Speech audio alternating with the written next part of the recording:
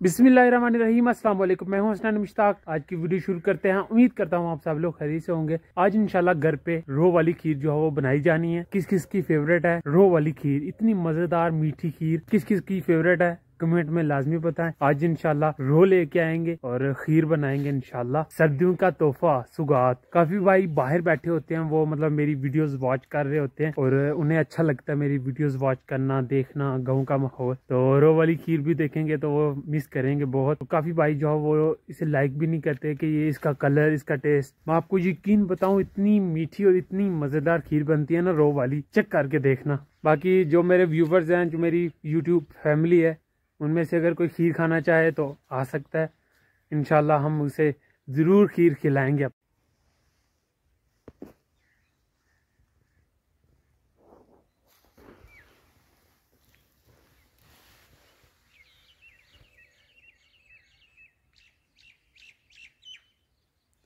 चलें ताज़ा ताज़ा खीर की तैयारी करते हैं। सुबह सुबह तो वैसे आठ नौ बज रहे हैं। इस वक्त रो वगैरह नहीं निकल रही होगी। सेकंड टाइम हाँ बेलने लगे होते हैं और रो वगैरह निकाल के गुड़ बनाते होते हैं। तो इनशाला सेकंड टाइम रो लेके आएँगे और खीर बनाएँगे इनशाला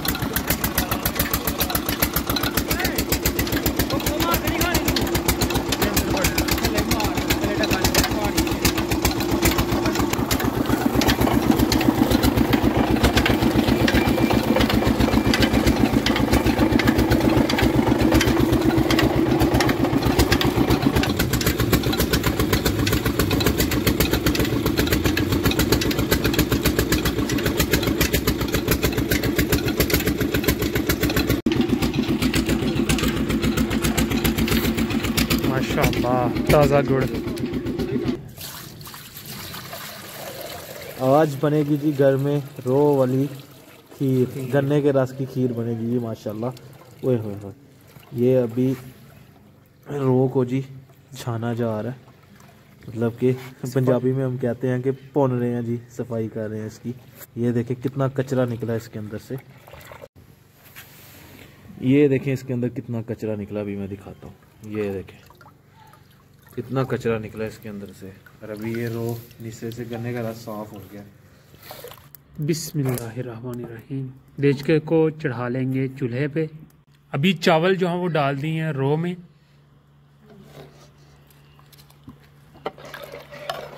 कितने पाए अभी? रो हम ले के आए हैं वो तकरीबन सात से आठ किलो होगी। तो उसमें हमने एक किलो चावल डाले।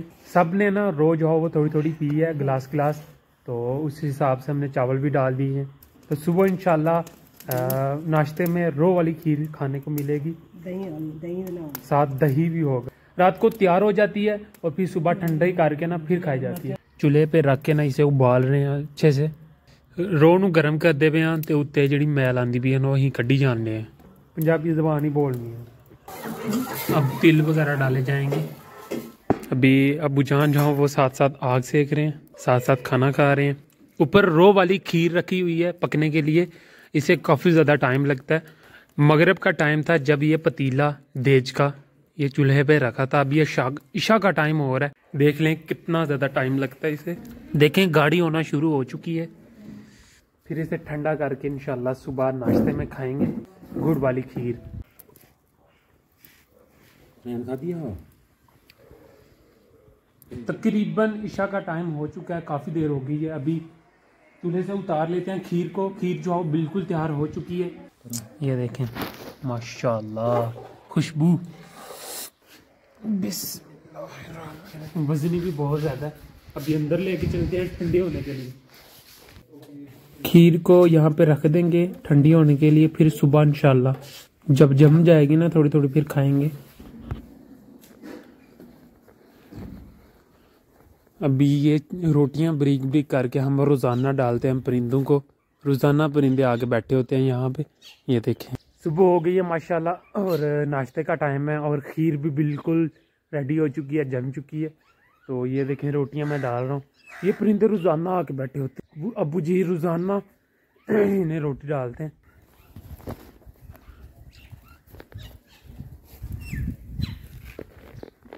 परिंदे आके ना देखिए कितने ज़्यादा परिंदे आए हुए हैं? माशाल्लाह। आप सब भी कोशिश किया करें कि अपने छत पे एक रोटी जो है वो ब्रिक ब्रिक करके ना वो रोज़ाना डाला करें। तो रोज़ाना परिंदे आए करेंगे, आपको खुशी होगी, बरकत होगी। ये देखें, कितने ज़्यादा परिंदे आए हुए हैं? माशाल्लाह। बिस्मिल्लाह। माशाल्लाह जी, खीर जो है वो बिल्कुल रेडी हो चुकी है। रो वाली खीर देखें, माशाल्लाह। अभी सर्व करते हैं सबको और मिल के खाते हैं ये मज़ेदार सी रो वाली खीर। दही। चलें जी अम्मी जान प्लेटों में डाल रही हैं अम्मी जान। अपने भाई भी आ चुके हैं। पीछे अब्दुल्ला भाई भी आ चुके हैं। किस बात का गुस्सा आया हुआ है? हम्म? ये ले अबू जी। साथ दही भी है। बस। आप नहीं दही लेते? अच्छा चलें जी। खाना स्टार्ट करें। बिस्मिल्लाहिर्रहमानिर्रहीम। अब्दुल्ला भाई भी आ गए हैं। बैठो बैठो अब्दुल्ला भाई।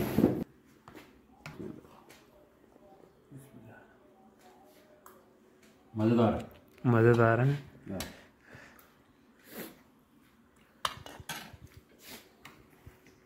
बिस्मिल्लाहिर्रहमानिर्रहीम।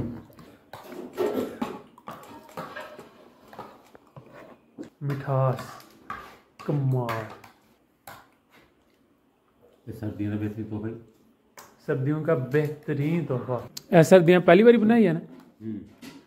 पहली खीर बनी है। इस तो बाद फिर पता नहीं वो बनानी है नहीं। खीर अल्हम्दुलिल्लाह बहुत बहुत मज़े की बनी हुई है। सभी ने खाई है सभी ने।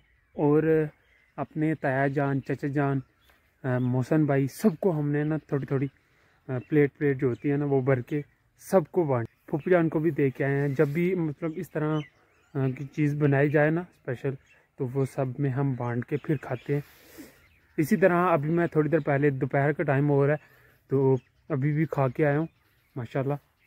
है आप भी देर ना करें, आप भी जल्दी से जहाँ से रो वगैरह जो हो, निकल रही है गुड़ बन रहा है, वहाँ से रो लें, तकरीबन सात आठ किलो। फिर आप भी रो वाली खीर बनाएँ और इंजॉय करें। खैर ये सर्दियों की सुगात है। आपको ये व्लॉग कैसा लगा कमेंट बॉक्स में ज़रूर बताइएगा। मेरे चैनल को सब्सक्राइब करें बेल के आइकन को लाजमी प्रेस करें ताकि आने वाली वीडियो की नोटिफिकेशन आपको टाइम से मिल सके। हाजिर हूँ कि नहीं और अच्छी वीडियो के साथ, तब तक के लिए मुझे दीजिए इजाज़त। अपना बहुत सारा ख्याल रखिएगा दो में याद रखिएगा। अल्लाह हाफिज़। मुझे इंस्टाग्राम पर फॉलो कर लें, इसका लिंक जो है डिस्क्रिप्शन में दे दूँगा। और ठंडी हवा चल रही है। यहाँ देखिए। बहुत ठंडी हवा चल रही है। अल्लाह हाफिज़।